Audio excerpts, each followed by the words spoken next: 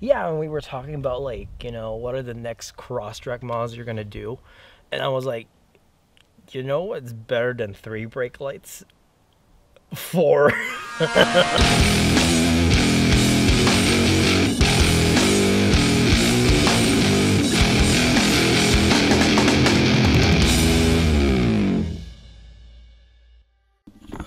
What's up, underdogs? It's me, your boy Eric, and welcome back to the channel. And we're back again for another Crosstrek mod.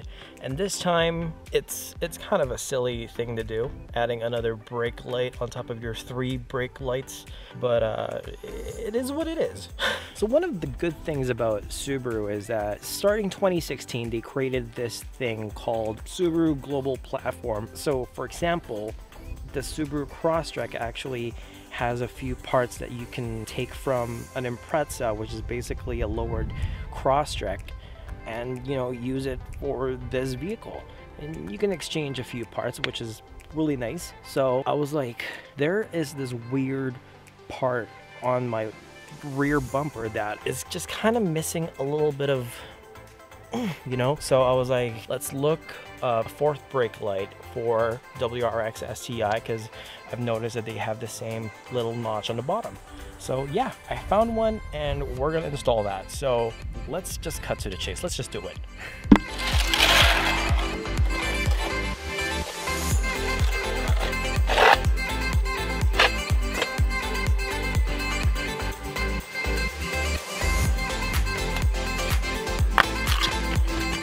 so you know you don't actually hurt yourself. So this is actually the part that I want to replace. See, it's just so awkward. It's just there. You know what? Might as well put another light there. So I got this from eBay. It was like less than a hundred bucks. I think it was like 50, 70 bucks. I don't know. I totally forgot. And it's pretty neat. It's kind of like an F1 style fourth brake light on like Subaru WRXs and STIs. So here it is. And as you can see, I, I believe this is the, the brake light and this is the uh, b -b -b reverse. It also came with some some clips and some clamp taps. I don't know what they're called. And additional bulbs. I don't know fairly straightforward, so let's get to it. Anyway, so we're underneath the Crosstrek. I don't know if it's gonna show you. There it is. This one is the placeholder, the current placeholder. So to get an act like a good access to this, take these tabs off. There's so there's one here, there's another one here. It'll have enough flex for it to go down so we can like unclip those two tabs underneath. Okay, okay.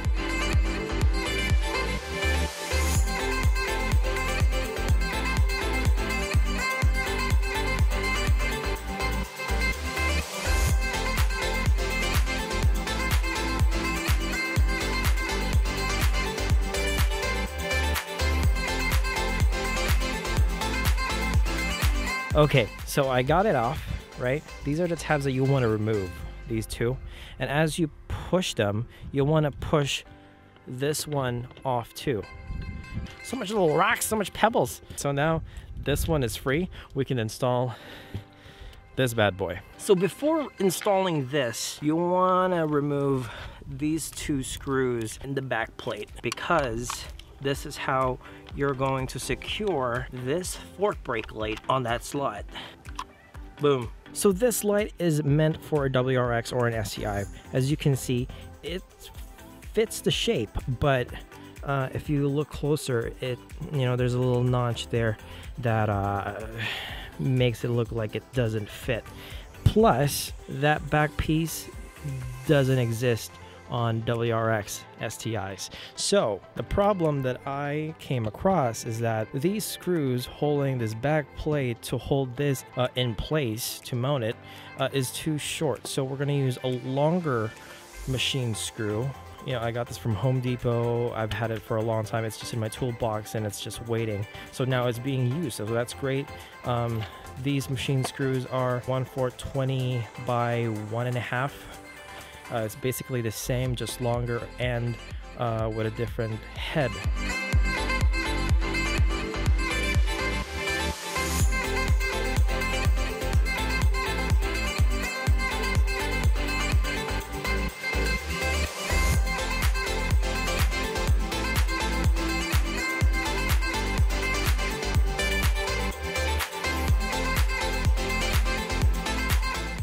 So it's there, great. It's mounted. We just got to route these wires to either of these two taillight. That's that's where the power is going to happen. So if you hit brake there, this one goes brake. If you go in reverse, this one goes on reverse. So we need to pull this out first. We need two 10 mil bolts, pop them out, and we can remove the taillight.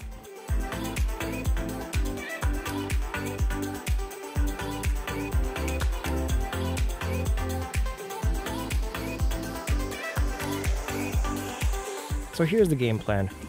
We got a tail light out. We're just gonna tap those wires with these wires. So before you route the wires going up for your tail lights, I recommend you to wrap it with electric tape or any anything that would protect the wires because they're susceptible to breaking with the environmental elements like ice, snow, salt, dirt, pebbles, rocks. So you just want to make sure that they're protected with something like a wire sleeve or you know electrical tape. So I'm just gonna do that quickly before I route it up there.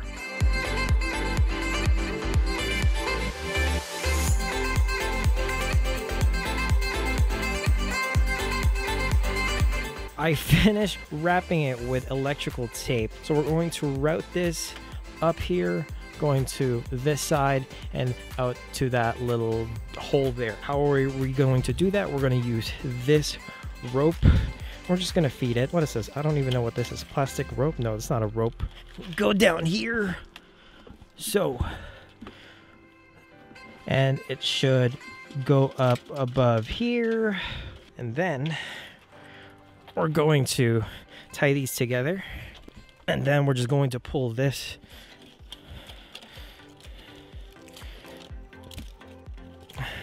and hope for the best that doesn't come off. All right, there she goes. Now we're going to tap these four wires using these clamps, tap, tap clamps. I don't know. So there's these two holes where each wire goes together and then we're going to close it like so and then press it together. Eventually. All right, so it took a little bit of uh, figuring out which wire goes for which, and I tapped them appropriately. I don't really like using these because sometimes the connections are not the greatest. Now we just gotta see if it actually works. Oh, and obviously you're probably gonna ask, which wire goes which, Eric? Well, I'm just gonna post it right over here. There you go. See? Easy peasy. Just in case that you're wondering, and just in case you want to do this to your Crosstrek, right? Well, the fitment is not the greatest, but I will have to make something to make sure that this one fits perfectly, like primo. I'm not to put this back all the way in just in case that things are not going well.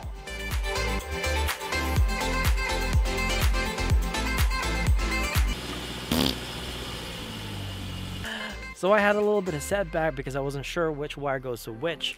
Um, I will ask my girlfriend again to tell me if it's working.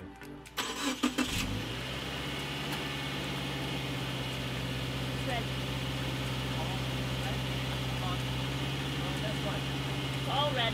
All red? Yeah. All red! All white. Yes!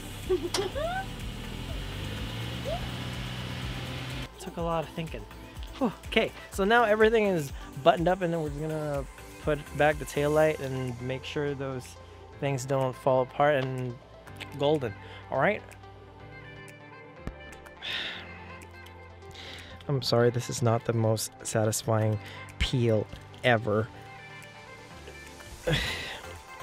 Alright folks, so that's it for this mod. It's kind of a janky way to do it, but it works. I mean, if it works, it's not stupid, right? So if you like this video, hit the thumbs up. If you haven't subscribed yet, you know what to do. Go down there, hit the subscribe button, and a notification bell so you know when I'm going to be uploading new videos for you guys. So I'll see you in the next episode. Take it easy, folks.